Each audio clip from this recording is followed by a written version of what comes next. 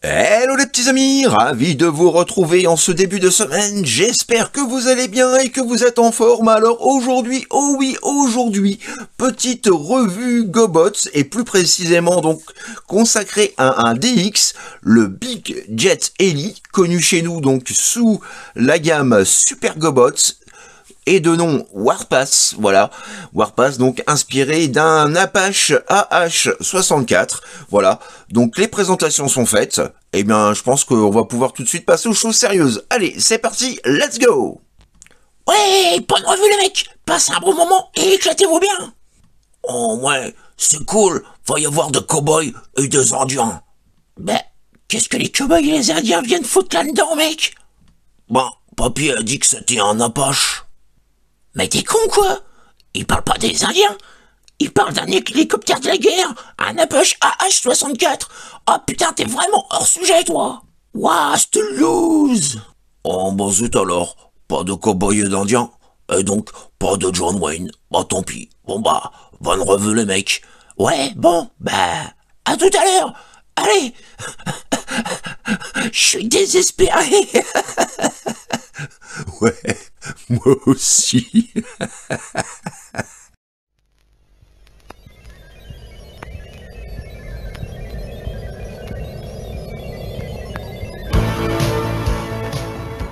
Oh, après cette euh, intro plutôt euh, épique, passons tout de suite aux choses sérieuses, donc avec la présentation de notre Warpath, rien à voir avec le tank, donc Transformers non plus, je suis même étonné euh, que Mini Mini Moi n'ait pas évoqué les Transformers, alors voilà un petit peu donc cet hélicoptère, effectivement fortement inspiré euh, de l'Apache AH-64, bon, il y a des petites choses qui, qui ne sont pas tout à fait identiques, mais bon, globalement, on a quelque chose d'assez similaire et ressemblant.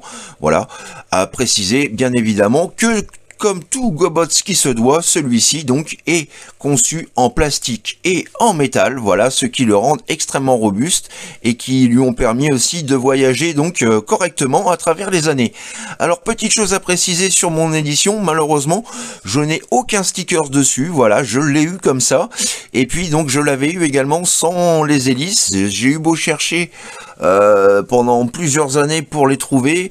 Je n'y suis jamais parvenu, donc du coup, ben voilà, j'ai décidé de faire les hélices moi-même. Donc j'ai fait tout ça ce week-end, histoire de vous présenter quand même un hélicoptère avec des hélices. Donc voilà pour ce petit 360 et du coup, bah, du coup, attardons-nous d'un peu plus près, donc sur les petits détails qui viennent l'habiller. Malheureusement, pas de stickers. Bon, c'est ce qui va manquer principalement euh, sur cet hélicoptère. Sinon, mis à part ça, qu'est-ce qu'on peut dire? Bah, On peut dire qu'il est plutôt bien fichu pour son époque. Nous avons tout d'abord, donc, voilà, le cockpit translucide bleu avec bon, des couleurs, euh, des liserés euh, en vert euh, voilà, pour bien euh, mettre, donner les détails de la cabine. À savoir donc qu'il s'agit de la version euh, européenne puisque nous l'avons en vert. Il était sorti donc au Japon et aux États-Unis en noir à la base. Donc toujours distribué par Bandai chez nous, donc en 1985 et par Tonka donc pour les États-Unis. Voilà un petit peu donc pour ce petit hélicoptère qui est pas mal. On a les petits réacteurs sur le côté. On a euh, les doubles lance-missiles juste ici, à savoir qu'il y a quatre, quatre roquettes, et non pas des lance-missiles, quatre roquettes. Nous avons donc les petites hélices à l'arrière, toute une partie donc du robot, à savoir la partie, le, tout le flanc, là, toute la partie inférieure est en métal, ainsi que la petite roue arrière et les petits trous juste ici. Voilà. Qu'est-ce qu'on peut dire d'autre? Alors je suis pas très fan voilà, de, cette partie-là, de l'avant, mais c'est tout simplement dû à la transformation, donc nous verrons ça tout à l'heure. Que dire d'autre? Eh bien écoutez, ma foi, il est plutôt correct, hein, les finitions sont sobres, mais, euh, bien fichues. Donc comme je vous disais, hein, j'ai construit, j'ai fabriqué moi-même donc voilà des hélices. Alors elles tournent, hein, elles sont fonctionnelles, pas de souci. Par contre, elles ne peuvent pas euh, se rabattre comme les, les hélices d'origine, hein, que l'on peut donc modifier, euh, modifier dans voilà deux places, deux sens. Donc celles-ci sont vraiment rigides et fixes, mais voilà, elles tournent. Et donc bon, esthétiquement, c'est pas voilà, c'est quand même mieux d'avoir un hélicoptère avec des hélices que rien du tout. Sinon, que dire d'autre? Voilà, c'est vraiment quelque chose de très propre. Et au niveau donc de l'undercarriage, voilà, sous le véhicule, bah, qu'est-ce qu'on peut remarquer? On peut remarquer qu'une fois de plus, comme tout Gobots, tout est parfaitement camouflé. Hein. au premier abord, on n'imaginerait pas euh, qu'il s'agit d'un jouet transformable. Donc voilà, c'est ce qui faisait aussi euh, la force des Gobots. Et puis donc nous avons les petits trains d'atterrissage avec de véritables roulettes métalliques hein, que vous pouvez donc, enfin que nous pouvons, voilà, rabattre à l'intérieur. Et voilà, donc notre petit Apache prêt pour aller attaquer les gentils, puisque oui, il s'agit une fois de plus donc d'un méchant, voilà, d'un renégat. Voilà donc pour la partie hélico. Et petite photo euh, de famille comparative, cette fois-ci donc avec un autre Gobots Apache de couleur noire, hein, comme euh, celui-ci devrait l'être à la base. Voilà, donc cette fois-ci, il s'agit, voyez-vous, euh, du petit, de la version standard, donc de la plus petite version, alors qui s'appelle, si je dis pas de conneries, Wongwei au, pour le marché euh, japonais euh, et américain et Skygun chez nous. Voilà, je dis peut-être des bêtises, mais bon, si c'est le cas, n'hésitez pas à me corriger. C'est voilà, je fais ça un peu de tête parfois, donc les informations parfois sont correctes, parfois sont erronées, mais voilà, on retrouve donc nos deux voilà nos deux différents Apaches, donc échelle euh, Deluxe, DX et échelle donc standard. Concernant à présent la transformation, eh bien comme tout Gobots qui se respecte, nous avons quelque chose de très rapide d'accès. Voilà, on passe en un éclair du mode véhicule au mode robot. Je le répète toujours, mais c'est vrai que c'était important quand on était gosse parce que ça nous permettait, voilà, de pouvoir nous amuser à passer d'un mode à l'autre très rapidement, sans prise de tête, sans perte de pièces ou autre. Donc voilà, c'était vraiment très très plaisant et ça l'est toujours aujourd'hui. Donc l'ingénierie, vous allez voir, est quand même est quand même plutôt bien fichue. Donc pour commencer, vous allez tout d'abord rabattre, voilà, les deux trains d'atterrissage à l'avant comme ceci. Ensuite, vous prenez toute la partie inférieure, vous venez, hop, la déloquer comme ceci. Et comme cela, hop, voilà, vous écartez légèrement ces parties-là à l'avant, puisque comme vous pouvez le deviner, le deviner donc ces parties-là vont devenir les jambes. Voilà, j'ai mon focus qui a un petit peu de mal à se stabiliser. Voilà. Ensuite, vous venez donc faire une rotation intégrale comme ceci.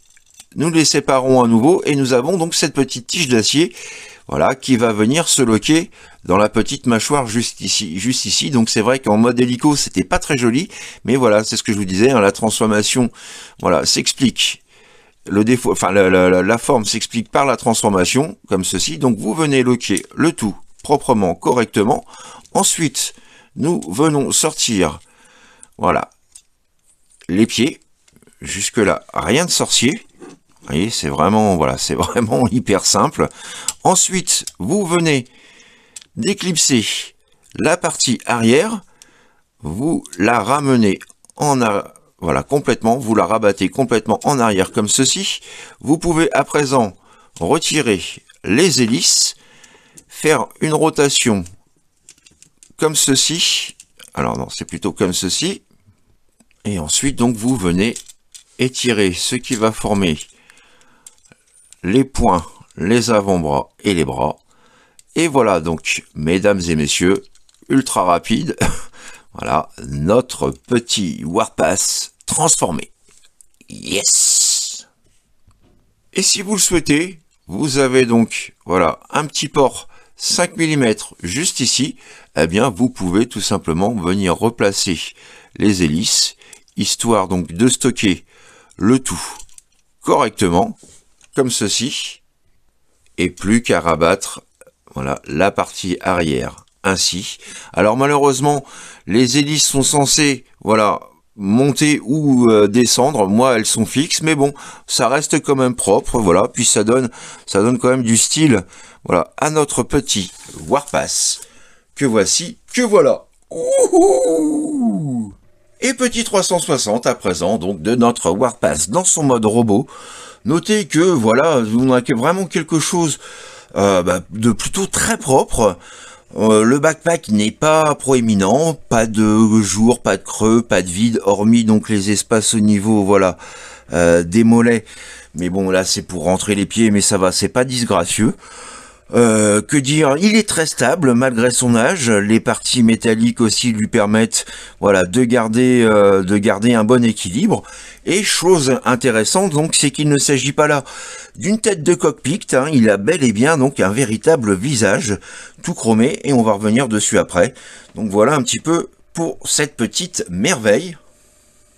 Alors oui, certes, il peut paraître euh, un peu kitsch aujourd'hui, mais euh, euh, voilà, je le vous rappelle, hein, c'est pour que vous vous mettiez en condition à chaque fois. Si on se remet dans le contexte de l'époque, hein, je vous rappelle, on est en 1985, avec les matériaux et les, technologies euh, du moment. Bah, si on se remet vraiment dans ce contexte, on imagine vraiment, on se rend compte que pour l'époque, c'était vraiment quelque chose de sensationnel. C'était vraiment un personnage que voilà que j'aimais beaucoup, que je n'ai pas eu. Hein, je l'ai trouvé donc il y, a, y a, quelques années sur une brocante. Manquait ses hélices et les stickers, mais pour le reste, il était propre, donc je ne pouvais décemment pas passer à côté pour l'ajouter à ma collection. Donc voilà, hein, euh, aujourd'hui un petit peu dépassé, mais malgré tout, il a encore quelques petits atouts. Alors on va faire un petit, voilà, un petit zoom sur son visage, histoire que vous puissiez voir un petit peu, donc voilà, le cucu, la tête, plutôt propre. Voyez, on a un casque tradit, euh, voilà, avec euh, genre des écouteurs sur les côtés, euh, la visière en rouge, bon ça va très bien puisque c'est un méchant, donc voilà, le visage est quand même propre, voilà, donc quelque chose qui n'est pas, contrairement au destroyer que je vous avais présenté la, la fois d'avant, donc qui n'est pas, voilà, qui n'est pas une tête de cockpit, tout simplement. Et puis donc en termes d'articulation, bah celui-ci sort un petit peu du lot également, puisque vous voyez, vous avez la possibilité de faire une rotation intégrale donc des bras, mais nous avons également, si vous regardez bien, une articulation au niveau des coudes. Voilà. Ça, c'était vraiment très très rare hein, pour les, robots de, de cet acabit de, l'époque. On a vraiment voilà une, euh, articulation du coude à, euh, on va dire, bah, à 90 degrés. Donc c'est vraiment correct. Ça, c'était pas mal aussi. Bon, les points sont fixes, bien entendu. Vous avez des petites alvéoles sur les côtés qui vous permettent, si vous le souhaitez, de positionner les hélices dans sa main pour s'en servir d'arme. Euh, mes hélices étant rigides, je ne peux pas malheureusement faire ce, voilà, reproduire ce gimmick là. Mais bon, voilà je trouve qu'elles sont toujours bien derrière. En général, on nous présente toujours avec les hélices de dos. Et puis donc, euh, voilà, bah, je crois qu'on a fait un petit peu le tour des articulations. Vous avez les jambes que vous pouvez, voilà, reculer. Bon, ça, ça ne servira pas à grand chose, mais c'est faisable. Par contre, on ne peut pas les ramener vers l'avant. Et puis les pieds que vous pouvez lever et baisser.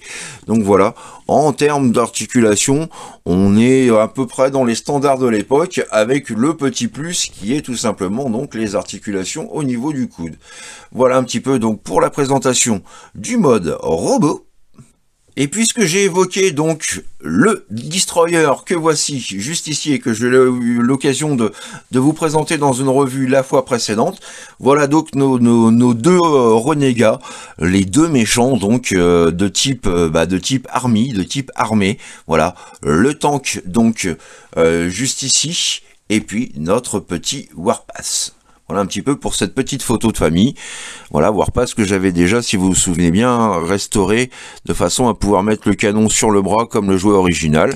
Donc voilà, hein, nos, deux, nos deux vilains pas beaux euh, voilà, bah, sont, sont, sont, sont, maintenant propres et présentables donc euh, sur mon étagère. À noter aussi que la petite chose sympathique, c'est qu'on a donc la tête ici, un vrai visage, et ici nous avons donc toujours ce, voilà, cette chose que nous retrouvons dans certains GoBots, à savoir donc la tête de cockpit. Et voilà donc pour les présentations, le comparatif et la petite photo de famille. Yes voilà les petits amis, c'est ainsi donc que s'achève cette revue du jour consacrée au plutôt fort sympathique, donc Warpass, euh, Super Gobots, euh, donc à l'échelle DX, voilà, les grandes versions. Euh, n'hésitez pas, comme toujours, à laisser vos commentaires, vos impressions, vos suggestions, ce que vous avez pensé donc sur Robot. Personnellement, j'espère en tout cas que vous l'avez apprécié, que ça a permis pour certains donc de le découvrir et pour d'autres de le redécouvrir. Une pièce que je conseille vraiment à tout fan de robots transformables ou de, Gobots, tout simplement. Euh, voilà, un petit peu kitsch, mais mais voilà, il sort quand même du lot, il se démarque de certains autres Gobots. Et, euh, et voilà, et puis mention spéciale donc pour les petites articulations au niveau des bras et des coudes. Voilà, choses qui, sont assez rares voilà, dans, ces fameux robots de l'époque. Euh, que dire d'autre? Bah que dire d'autre? Merci en tout cas d'avoir eu la patience comme toujours de me regarder. Alors peut-être en accéléré ou par à coup ou en zappant, mais en tout cas donc le principe, le principal c'est que vous ayez apprécié euh, cette vidéo d'avance bien entendu, d'avance, d'avance, d'avance comme toujours. Merci pour tous vos petits pouces bleus, voilà qui me font toujours infiniment plaisir. Un petit coucou de bienvenue donc aux nouveaux abonnés. Voilà, on approche tout doucement euh, des 1670 abonnés. Donc euh, bah, c'est super cool. Merci à vous, merci de votre confiance, merci de votre gentillesse, merci de votre sympathie et surtout merci pour votre indulgence.